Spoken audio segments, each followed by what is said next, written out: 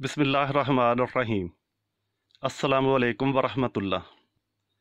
नमाज़ में दो सजदे क्यों? बिस्मिल्लाह शरीफ और ऐतल कुर्सी। आज की वीडियो में चंद छोटी छोटी बातें। सबसे पहली बात, नबी पाक सल्लल्लाहु अलैहि वसल्लम ने फरमाया कि जब तुम कुछ भूल जाओ तो मुझ पर दरूद पाक भेजो। इन भूली हुई चीज़ याद आ जाएगी। दूसरी बात, जब अल्लाह ताला ने फरिश्तों को हुक्म दिया कि आदम सलाम को सजदा करो तो उन्होंने सजदा किया लेकिन अबलीस ने नहीं किया। तो इसको मरदूत करार देकर जन्नत से निकाल दिया गया।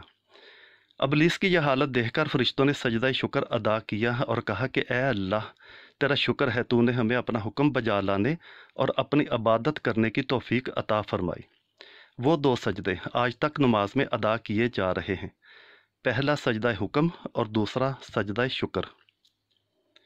तीसरी बात, एक सहाबी ने नबी पाक सल्लल्लाहु अलैहि वसल्लम से पूछा कि हमें कैसे पता चले कि हमारी नमाज़ कबूल हो गई है। आप सल्लल्लाहु अलैहि वसल्लम ने फरमाया कि जब तुम्हारा दिल अगली नमाज़ पढ़ने का करे तो समझो कि तुम्हारी नमाज़ कबूल हो गई। चौथी बात, जब शैतान मरदूद ने कहा कि ए रब, तेरी इज़्ज़त की कसम, मैं तेरे बंदों को हमेशा बहकाता रहूँगा। जब तक इनकी रूहें इनके जिस्मों में रहेंगी। अल्लाह रब्बुल इज़्ज़त ने अरशाद फरमाया कि मुझे कसम है अपनी इज़्ज़त व जलाल की और अपने आला मकाम की। जब तक वो मुझसे अस्तगफार करते रहेंगे, मैं इनको बख्शता रहूँगा।